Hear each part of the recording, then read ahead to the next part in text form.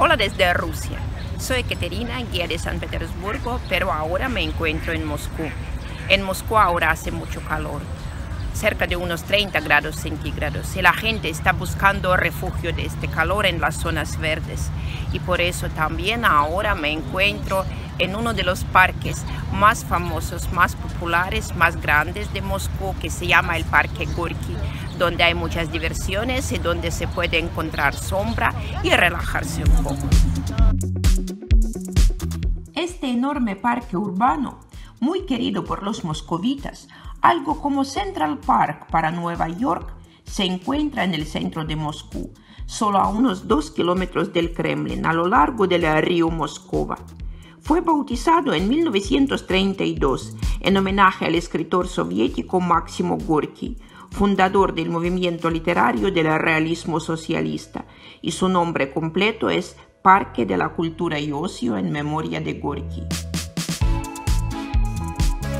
En sus 120 hectáreas de superficie se emplazan varios jardines, lagunas, áreas de recreación y espacios deportivos.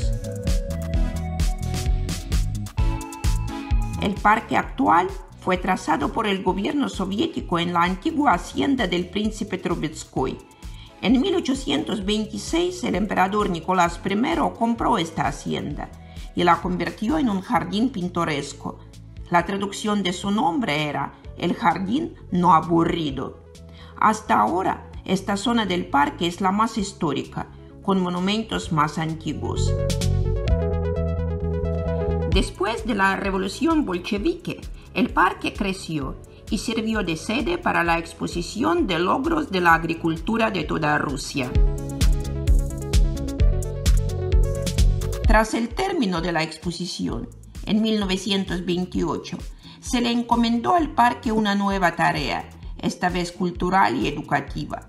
El trazado y el replanteo del parque se le encargó al gran arquitecto constructivista soviético Konstantin Melnikov. En este lugar se paseaba con los niños, se organizaban competiciones, conciertos y exposiciones.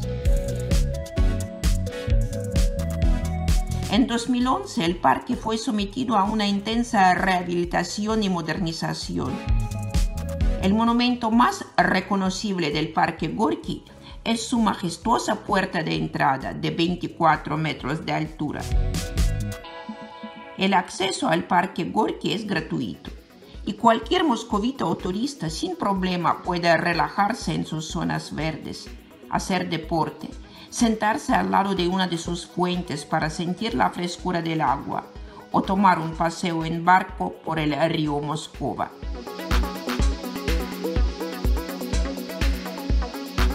Caminar por este parque, de principio a fin, a lo largo del río, puede llevar varias horas. Por el trayecto puedes encontrar amplios espacios verdes, alquiler de bicicletas, alquiler de botes en sus estanques, áreas de picnic, cine conciertos al aire libre, mercadillos ambulantes, restaurantes y cafeterías, zonas para jugar para los niños. Es el perfecto lugar para pasar el tiempo con la familia o con los amigos en un ambiente pintoresco y relajante.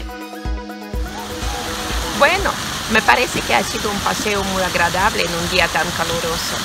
Si les ha gustado, por favor, suscríbanse a nuestro canal, pongan sus likes. Les mando mi saludo cordial desde Moscú.